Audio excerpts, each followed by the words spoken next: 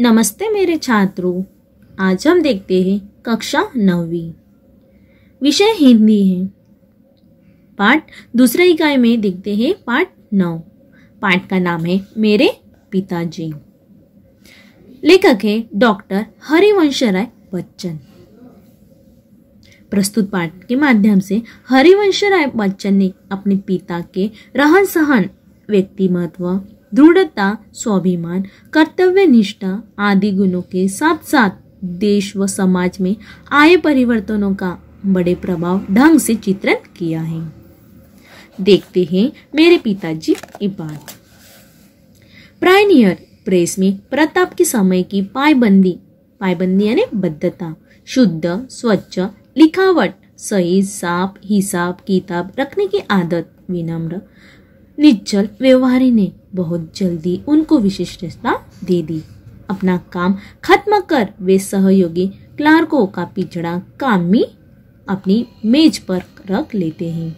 निश्चल यानी स्थिर विशिष्टता यानी विशेषता। और दफ्तर बंद हो जाने के बाद, घंटों बाद, रात देर तक काम में जुटे रहते। इस प्रकार वे अधिकारियों और सहकामियों दोनों के प्रति, दोनों के प्रिय बन गए। सहकामिनो यानी साथ काम करने वाला। घर से दफ्तर चार मील होगा कुछ कम भी हो सकता है। फासले फासले यानी दूरी के मामले में मेरा अनुमान हमेशा गलत होता है। ज़्यादा की तरफ़ वे पैदल ही आते जाते। शायद पैसे बचाने की गरज से साइकिल साइकिल ने उन्होंने खरीदना उसके सवा, उसकी सवारी की। देखो बच्चों ये प्राइमिनी प्राइमिनियर प्रताप की समय एक शुद्ध अशुद्ध लिखावट, सही साफ़ हिसाब रखने की आदत निश्चल व्यवहार करके उसने जल्दी विशिष्टता दे दी है। अपना काम खत्म कर उन्होंने क्लार्कों का पिछड़ा कर दिया। और ये जो प्रकार था वो अधिकारी और सहकामनीय दोनों की प्रिय बन गए हैं। दफ्तर के लिए उन्होंने एक तरह की पोशाक अपनाई और अपने दिन दफ्तर में गए। उसी में गए काला जूता, ढीला पायजामा, अचकन हो उनके लंबे इखरे शरीर का शरीर पर खूब फपती थी। और दुबली, और दुपल्ली टोपी, दुपल्ली यानी दो पल्ली वाली टोपी। जाड़ों में मेरी माँ के हाथ, मेरी माँ के हाथ का बुना, उन्हीं गुलबुन उनके गले में पड़ा रहता था। दफ्तर से बाहर के लिए वे धोती पर बंद गले का कोन कोट पहनते थे। सिर पर फैल कैप जो उन दिलों विलायत से आती थी और काफ़ी महँगी थी। पिताजी ने पिताजी बाहर निकलते तो छाता उनके हाथ में ज़रूर होता। मौसम साफ़ हो और रात हो तो वे छड़ी लेकर चलते थे। पर पतली नहीं, अच्छी, मोटी, मज़बूत, लंबी लाठी मेरे घर में नहीं थी। पर लाठी चलाने की तालीम पिताजी ने भी ज़रूर कभी ज़रूर भी ली होगी। मुझे एक बार याद आई है, शहर में किसी काम, किसी कारण हिंदू मुस्लिम दंगा हो गया था। पिताजी ने धोती ऊपर कर ली, कुर्ती की बाहें चढ़ा ली और अपने पहाड़ी मोटा डंडा दाहिने हाथ से कंधे पर संभाले। बाया हाथ तेज़ी से हिलाते नंगे पाँव आगे बढ़े। उन्होंने उनके पास जाकर कहा, मैं लड़ने नहीं आया हूँ। लड़ने को आता तो मैंने मैं अपने साथ और को भी लाता। डंडा केवल आत्मरक्षा के लिए साथ ही कोई अकेला मुझे चुनौती देगा तो पीछे नहीं हटूँगा। मर्द की लड़ाई बराबर की लड़ाई है। चार ने मिलकर एक, चार ने मिलकर एक को पीट दिया। तो क्या बहादुरी दिखाई? अकेले सिर फिरे की बात समझ जा सकती है। चार आदमी मिले तो उन्हें कुछ समझदारी की बात करनी चाहिए। इस तरह की लड़ाई तो मैं तो बेसमझी की लड़ाई है। कहीं कहीं किसी से किसी को मारा, आपने दूसरी जगह किसी को, किसी दूसरी को मार दिया। धर्म का नाता है तो पास पड़ोस इंसानियत की नाता भी है। इंसान मेल से रहने को बना है। लड़ाई कितने दिन चलेगी? देखो बच्चों, यहाँ दफ्तर के लिए एक तरह पोशाक अपनाई और जितने दिन दफ्तर गए, उसी में एक काला जूता और पायजामा चटकर उन्हें शरीर पर खूब खूब भक्ति थी और दुबली भी टोपी थी। तो दुबली यानी दो बल्ली वाली टोपी थी। एक दिन सिर पर फैल कैब जो उन दिनों विलायती यानी विदेश से जाते थे, विदेश से जाती थी और काफ़ी महँगी होती थी। कि ये जो पिताजी है, पिताजी बाहर निकलते तो हाथ में ज़रूर लाते हैं। क्योंकि ये जो लंबी का लाठी मेरे घर में नहीं थी और लाठी चलाने की तालीम जो पिताजी ने कभी ज़रूर भी लेंगे होगी। पिताजी ने जो धोती ऊपर कर ली और कुर्ते के बाही बाही चढ़ा ली और अपनी पहाड़ी मोटा डंडा दाहिने हाथ के कंधे पर संभाले। बाया हाथ उसने तेज़ी से हिलाते और नंगे पाँव चले गए।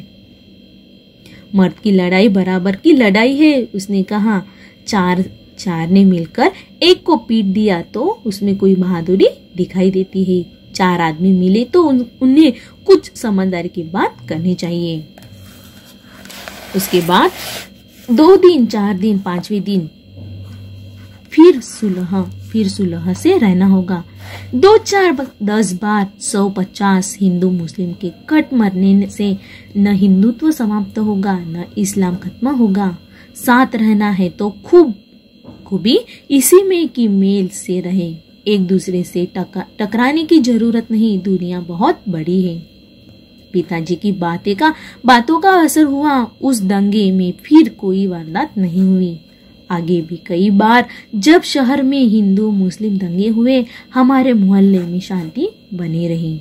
मेरे पिताजी का दैनिक जीवन प्राय एक ढरे एक ढरे पर चलने वाला नियमबद्ध और नैमितिक था।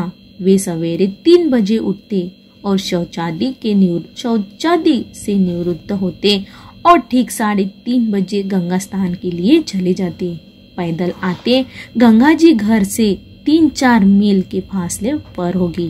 वे ठीक साढ़े छह बजे नहाकर लौटते, साथ में एक सुराही गंगा जल भी लाते और पूजा पर बैठ जाते। पूजा के लिए नीचे की नीचे, जीने की, नीचे की एक छोटी सी कटोरी थी, बगल की दीवार में एक अलमारी थी। उस पर एक बस्ते में बंधी तो दो पुस्तकें रखी थी, एक रामचरित मानस और दूसरी गीता। पूजा की कोठरी में कोई मूर्ति न थी। दीवार से राम, कृष्ण, शिव, गणेश, हनुमान, सरस्वती, लक्ष्मी, दुर्गा की शीशे जड़ी छोटी छोटी तस्वीरें लटकी थी। पिताजी को बहुत झुककर उस कोठरी में जाना होता और अब वे उसमें बैठ जाते तो उस बस इतनी ही जगह बचती कि सामने रहे रखकर उस पर पोतियाँ खोली जा सके। वे मानस का नवहानिक पाठ करते थे, यानी प्रतिदिन इतना कि नौ कि नौ दिन तो मेरे रामायण समाप्त हो जाए। उनकी मानस की पोथी में जो अब तक मेरे पास है, उन्हीं की हाथ के नवाई के निशान लगे रहे। पाठ के रस पाठ के सस्वर करते थे। उनकी आवाज़ सुरीली नहीं थी। गाने गाते मैंने उनको कभी नहीं सुना, पर उसका स्वर सांप सप्राम और लयपूर्ण था और कोठी से निकली उनकी आवाज़ सारे घर में गूंजती थी। आवाज़ की पहली स्मृति मुझे उन्हें उन्हीं के मानस पाठ के स्वर की है, और जब तक मैं उनके साथ रहा, प्रतिदिन उनके पास का स्वर मेरे कानों में गया। मैं कल्पना करता हूँ कि सॉरी सॉरी में जन्म के पहले तीन से में ही उनका पाठ स्वर सुनना शुरू कर दिया होगा। सारी पूजा की कोठरी के सामने दालान के एक सिरे पर बनाई जाती थी। राधा बताया करती थी कि जब मैं बच्चा था, तब चाहे कितना कितना ही रोता क्यों ना, कि क्यों न हो जैसे में ही मेरा कटोला पूजा के कोटरी के सामने लाकर डाल दिया जाता था मैं चुप हो जाता था जैसे भी पिताजी का मानस पाठ सुन रहा हो, हो। मेरी माता मेरी माता तथा परिवार के अन्य लोग इसमें मेरे पूर्व जन्म के धार्मिक संस्कार की कल्पना करते थे अब मैं ऐसा समझता हूँ, यह मेरे पिताजी के स्वर की लिपियाँ लय थी, जो मुझे शांत कर देती थी। इतना मैं ज़रूर मानता हूँ कि मैं, कि इस इन श्रवण संस्कारों ने उस समय अद्भुत रूप में मेरी सहायता की होगी। जब मैं गीता को जन गीता का रूप दे रहा था, अवधि भाषा में मानस की शैली, मानस की शैली थी। पिताजी मौन रखकर गीता पढ़ने थे। गीता पढ़ते थे शायद चिंतन करने की दृष्टि से मानस में वह, मानस में बहा करते थे। संस्कृत का उन्हें साधारण ज्ञान था। मानस में आए संस्कृत अंशों को वे शुद्धता और सुस्पष्टता से पढ़ते थे। पर संस्कृत से वह उच्चारण सुख अनुभवता न करते थे, जो अवधि से। कविता सस्वर पढ़ने का मुझे भी शौक है। ब्रज और अवधि की कविता में घंटों पढ़ सकता हूँ। मानस का तो सस्वर अखंड पाठ मैंने कई बार किया है। पर मानस की बात की और खड़ी बोली कि कविता में घंटे भर भी पढ़ू तो मेरी भी, मेरी जेब ऐटने लगती हूँ। उर्दू के साथ यह बात नहीं है। खड़ी बोली कविता ने कहते हुए खेत खोता है। मानस की सूक्ष्म शिराओं को अभी कम ही छुआ है। वह जीवन से उठी हुई कम लगती है। कोष से उतरी हुई अधिक कारणों पर यहाँ न जाऊँगा। पिताजी से पिताजी से जी ठीक साढ़े आठ बजे उठते। उस समय तक मेरी माता जी भोजन तैयार कर देती। वे रसोई में पढ़कर, रसोई में बैठकर भोजन करते और कपड़े पहन नौ बजते बजते दफ्तर के लिए रवाना हो जाते। किसी किसी दिन ऐसा भी होता कि किसी कारण भोजन समय पर तैयार न होता। पिताजी को बहुत गुस्सा आता। माँ कांपने लगती, सैर गुस्सा निकालने का समय भी उसके पास न होता। वे जल्दी जल्दी कपड़े पहनते और बैगर खाए खाए दफ्तर के लिए चल पड़ते। अपने पैतीस वर्ष की नौकरी में वे कहा करते थे? एक दिन वे दफ्तर देर से नहीं पहुँचे। मेरी माता जी जल्दी जल्दी पूरियाँ बनाती और एक डिब्बे में खाना रखकर मोहल्ले के किसी आदमी से दफ्तर भिजवाती। और जब एक आदमी मेरे पिताजी को खाना खिलाकर वापस न आ आ जाता, वे भोजन न करती। जब कोई जाने वाला न मिलता तो उनका भी दिन भर का उपवास होता। घर घर की तीन बुढ़िया राधा, मेरी दादी और महारानी की बातें सुनकर को बातें सुनने के ऊपर में से मिलती। मेरी माँ ना खाती तो मैं कैसे खाती? पर अपनी भूख का गुस्सा वे दिन भर माँ पर उतारती रहती। पिताजी के दफ्तर से लौटने का कोई ठीक समय नहीं था। नौकरी के प्रारंभिक वर्षों में वे प्राय देर से लौटते थे। आठ नौ बजे इसमें भी अधिक देरी से और खाना खाकर सो जाते थे। बात को जब कुछ जल्दी आने लगे तो खाना खाने से पहले कुछ देर बढ़ते ही खाना खाने के बाद भी और कभी घूमने निकल जाते। सुबह गंगा स्नान। गंगा स्नान में आने जाने के आठ मील दिन को दफ्तर जाने आने जाने के आठ मील, यानी कुल सोलह सोलह मील चल लेने पर भी उनकी जरा तृप्त नहीं। देखो बच्चों, यहाँ कवि ने कहा है कि जब पिताजी पिताजी मौन ढककर गीता पढ़ते हैं, उसके चिंता करने से दृष्टि से वो मानस में वहाँ बहा करते थे मानस में आए हुए जो संस्कृत शुद्धता और स्पष्टता से पढ़ते हैं। कविता सस्वर पढ़ने से उनका शौक है, क्योंकि कविता में घंटों तक पढ़ सकते हैं। मानस का तो एक स्व है, अखंड है। मैंने कभी भी मानस की बात और खड़ी बोली की कविता में घंटे भर पढ़ू तो जीप ऐसे ऐटने लगती है। पिताजी से ठीक साढ़े आठ बजे उठते हैं। उस समय माताजी का भोजन वो तैयार करती है। वे रसोई में बैठकर भोजन करते और कपड़े पहन से नौ बजते बजते वो रवाना हो जाते हैं। जब कोई जाने वाला न मिलता तो उनका भी एक दिन वो उपवास होता है। घर की तीन बुढ़िया है, राधा, मेरी दादी और महारानी की बातें वो सुन, उसकी बातें को सुनने मिलती है। और अपनी भूख का गुस्सा वे दिन भर माँ पर उतारती रहती। और रात को रात को भी दो तीन दिन मील घूम, फिर आने को तैयार रहते हैं। तभी तो मैं कहता हूँ कि उन्हें चलने का चलने का मर्ज था। सबसे अचरज की बात यह थी कि रात को चाहे जितनी देर से सोए, देवी सुबह तीन ही बजे थी। उनका कहना था कि नींद लंबाई नहीं, गहराई मांगती है। यानी कम घंटों को भी। गहरी नींद, ज़्यादा घंटे की नींद हल्दी हल्दी नींद का काम कर देती है। उनके इस फार्मूले के प्रति विश्वास ने मुझसे अपनी नींद पर कितना अत्याचार कराया है।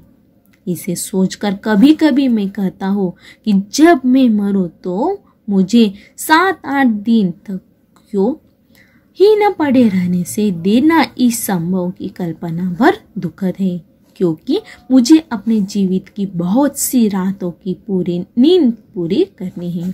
देखो बच्चों, लेखक कहते हैं कि उन्हें वो चलने का वो मर्च मिलता था। सबसे पहले वो अचरंग की बात कहते हैं कि उनका कहना था कि नींद नींद लंबाई नहीं, गहराई से मांगती है। उनके उस फार्मूले के विश्वास से मुझसे अपनी नींद पर कितना भी अत्याचार करवाए। जब वो कहता है सात आठ दिन तक वो पढ़े रहने से उसकी संभावना, कल्पना सुखद है, क्योंकि वो अपने जीवन की बातें सारी रात नींद पूरी कर लेती हैं। समय की पाबंदी की जो उत्कटता उन्होंने अपनाई थी, उनके निभाने के लिए घर के लोगों का सहयोग आवश्यक था उन्हें सेस ऑफ़ टाइम वक्त का अंदाज़ा अंदाज देने के लिए पिताजी ने अपनी नौकरी के पहले वर्ष में एक आराम घड़ी घड़ी खरीदी और लाकर दालन की तिका तिकोनिया पर रख दी। यह घड़ी नहीं थी। विक्टोरियन युग की थी और पायनियर पायनियर के दफ्तर में बहुत दिनों से काम में दे रही थी। वहाँ एक कंडम मालकिन तरह निकाल दी गई जो पिताजी ने शायद दो रुपए में ले ली। यह घड़ी बेहा साबित हुई। थोड़ी बहुत सफ़ाई के बाद वह चलने लगी। चलने लगी तो चलती चली गई। सातवें दिन उसने चाबी चाबी देनी पड़ती, वह आलम भी बजाती। उसके कभी घड़ी सांस के यहाँ जाने की मुझे याद नहीं। तिकोनिया और खाली, इसकी कोई तस्वीर मेरे दिमाग में नहीं। मेरे पिता के जीवन जीवन पर यह वह चलती रही। उनकी मृत्यु को लगभग तीस वर्ष होने आए हैं। अब भी वह चल रही है।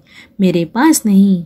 मेरी बड़ी बहन के लड़के रामचंद्र फुटबॉल के अखिल भारतीय प्रसिद्धि के खिलाड़ी है। उसे अपने नाना की एक निशानी के रूप में ले गए हैं। जब मैं कभी राम के घर जाता हूँ हीर फिर कर मेरी आँख उस घड़ी पर टिकती है। हमारे हमारे घर कितने भी जन, कितने जन्म, शर्म, जन्म, मरण, शादी, ब्याह, भोजन महोत्सव उसने देखे हैं।